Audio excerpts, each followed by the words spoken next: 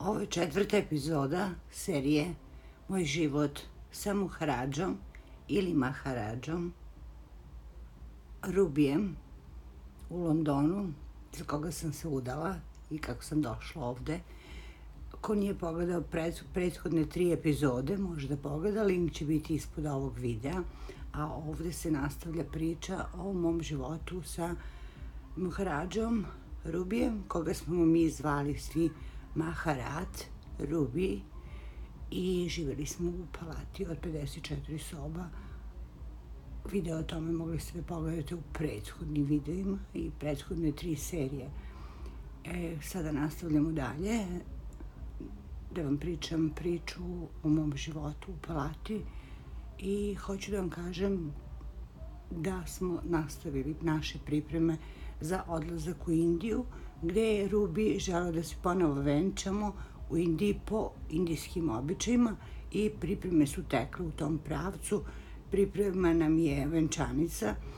Venčanica je bila crvene boje, skroz u dijamantima i to je trebalo da bude naše zvanično venčanje po indijskim običajima jer je Rubi želao da je upoznam njegovu porodicu, njegovog, njegove roditelje koji su živjeli u Indiji.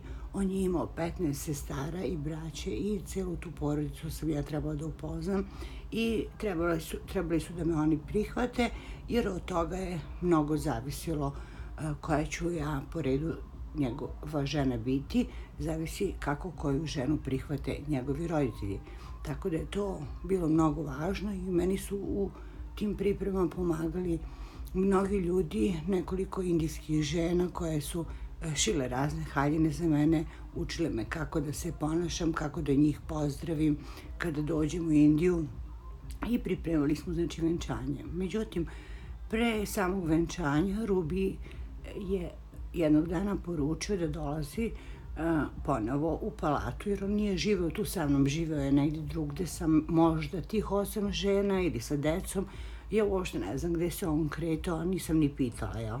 Uglavnom, nije bio sa mnom u palati, posle venčanja je otišao, mislim, venčanje ovdje u Londonu. I one su mene pripremile, obukle prelepu sari, dugu haljinu, svu od zlata i dijamanata. Prelepa haljina je bila, prelepa haljina, puno sam imala minđuša, puno e, raznih e, ukrasa na sebi i tako po indijskim običajima. I ja sam razmišljala, Rubi dolazi, a Rubi leži u sobi ovde nepokretan. Mislim, kao što sam vam rekla u kraju prethodnog videa, ko je Rubi, da li je ovaj koji leži u sobi ili taj koji dolazi, ko je pravi Rubi. I da li postoje dva Rubija? U principu, dva puta sam ga videla, već sam zaboravila kako Rubi izgleda, znate.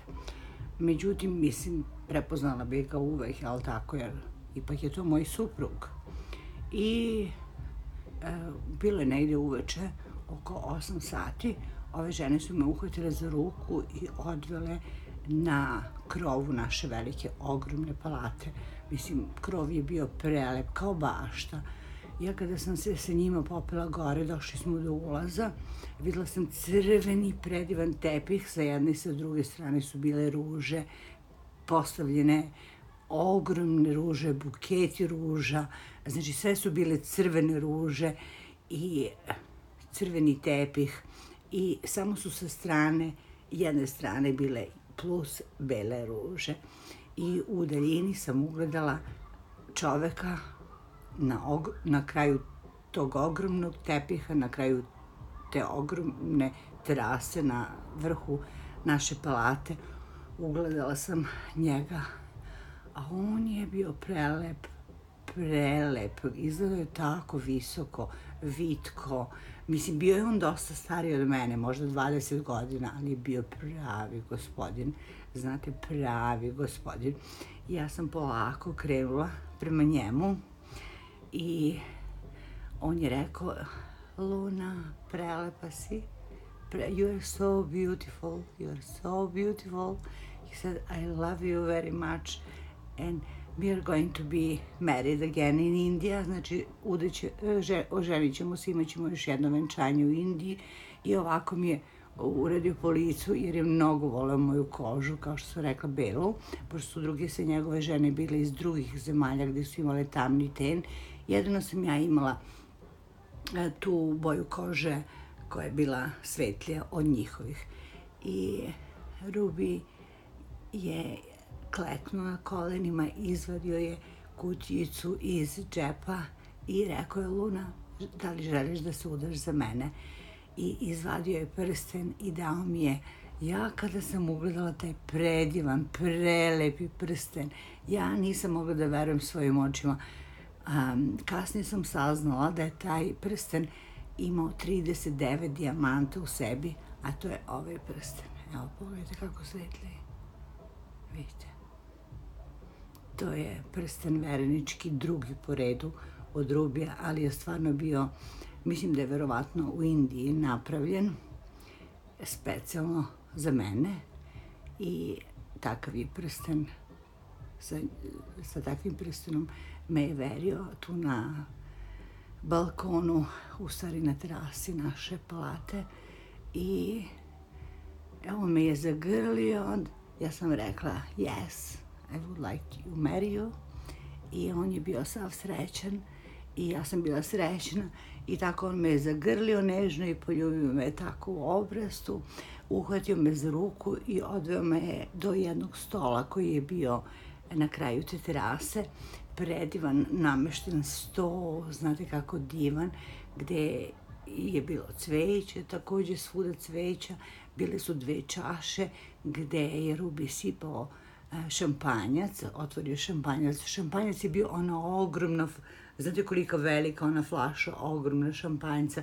I on je uh, otvorio, sipao je jedan šampanjac e, sebi, jedan meni i rekao da nazdravimo za našu e, veritbu i za naše venčanje u Indiji. I kaže, e, ja verujem da ćeš ti biti prelepa mlada u Indiji i jedva čekam, kaže, da odemo u planu, svi su planovi u toku i e, objasni mi da krećemo e, privatnim avionom, njegovim naravno koji on imao, imao je više aviona i e, da vodimo osoblje oko 100 ljudi. Je bilo naravno onda je morao da bude mislim, privatni avion, jel, ko bi tolike ljudi, tolike e, kutije, e, spakovao cveće, on nosio odavde i tamo je, mislim, mnoge stvari on nosio iz, iz eh, Engleske za Indiju, ali ja sam imala kofere, Louis Vuitton, ljudi, sve Louis Vuitton koferi prepuni garderobe. Mislim, samo dva kofera su bila puna zlata koja mi on darivao eh, raznih mindjuša, ogrlica, narukvica, raznih stvari. I tako smo mi pričali malo, proveli možda pola sata zajedno, jer Rubi je bio biznismen. On je, rekla sam vam u prethodnom videu, da ne ponavljam, pogledajte, imao tri rudnika, e, jedan dijamanta, jedan zlata i drugi neke poznate, ali jedinstvene rude u svetu u Indiji.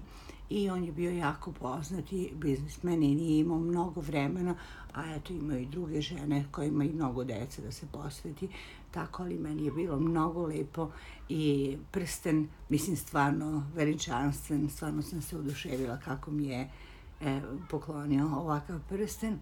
I tako ja sam ga pitala da li će moje deca da pođu sa nama, kaže naravno, pa naravno da će da krenu za Indiju. Inače, mnogi ste pitali za moju decu šta su oni radili. Oni su bili u palati sa nama, naravno, živjeli, ne bih ja nigdje išla bez moje dece i oni su imali tu privatnu školu u Palati gde su imali svoje predavače i tako su redovno pohađali nastavu, imali su i druga druge aktivnosti, imali su sportska igrališta, imali su razne treninge, e, razne borilačke veštine, glumu i tako dalje. Odlazili su i u grad, su ih vozili. Ne, nekad sam ja odlazila s njima na razne aktivnosti i razne treninge koje su imali uglavnom e, non stop su imali e, obaveze oko škole i tako Rubiju je mnogo bilo važno da oni završe školu i tako on je sve to plaćao i mislim bilo je stvarno veličanstveno. I tako je došao dan e, od tada od tog našeg e, od našeg, naše veredbe na, pala, na terasi palate.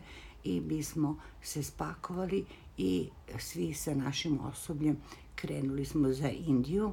I e, stigli smo u New Delhi tada, ali smo iz New Delhija preseli na drugi avion koji nas je odvezao u drugi grad koji je bio mnogo manji e, na drugom kraju Indije e, gde sam trebala da upoznam njegove roditelje koji su tu živeli, njegov sestri, njegovu braću i celu porodicu, tako da je to stvarno bilo veličanstveno i e, ja sam jedva čekala taj trenutak i e, stvarno radovala sam se jako jer verovala sam da će Rubi za mene da pripremi najbolje što može, jer ja sam za njega bila kao princeza. Mislim, to je stvarno bila kao jedna bajka u kojoj prosto ne možeš da zamisliš da možeš da se nađeš, da živiš, ali eto, znati sami, pi, život piše romane, pa je tako napisao i moj roman o životu sa Rubijem i tako. Toliko za ovu epizodu. Peta epizoda sleduje uskoro e, i bit će na mom YouTube kanalu, zato se bolje prijavite e, svi i slušajte, pratite pažljivo dešavanja šta će se desiti sa Rubijem i sa mnom u sljedećim epizodama koje će biti u novoj godini. Veliki pozdrav!